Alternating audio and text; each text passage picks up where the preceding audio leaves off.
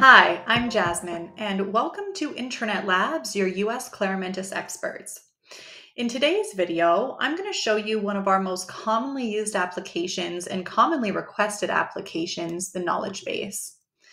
Now, our knowledge base is a perfect place for organizations to store and categorize essential information like best practices, frequently asked questions, and standard operating procedures or processes. If you're not familiar with the term knowledge base, you may have heard this be called wiki pages.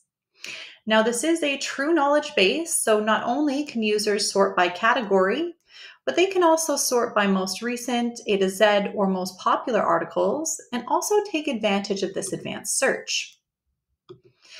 Now, if we actually take a look into an article, let's do this how to request leave.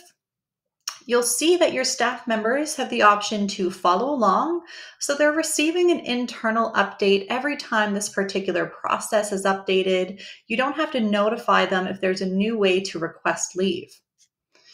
If I scroll to the bottom of my article, I'm seeing some helpful information like when this was last modified, as well as when it was created to make sure I'm getting the most up to date information on my process. This is really saving me time on relying on internal support with confidence, I know I'm getting the latest version of this process.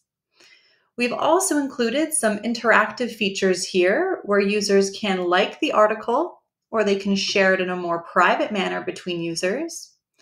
They can also take advantage of this commenting area by tagging other users. Maybe Dave has been asking me about this, and now I can send this notification to him so he can read the article.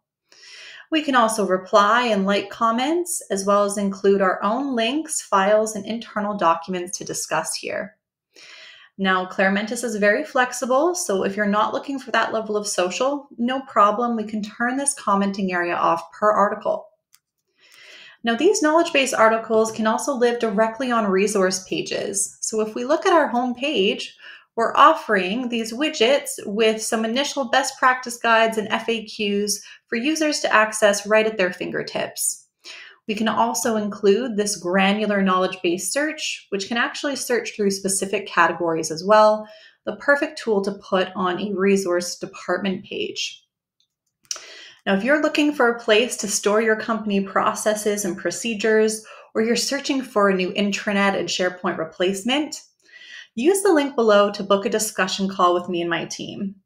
And don't forget to hit that subscribe button as we will be releasing new videos on Claromentis features and applications regularly. Thanks for watching.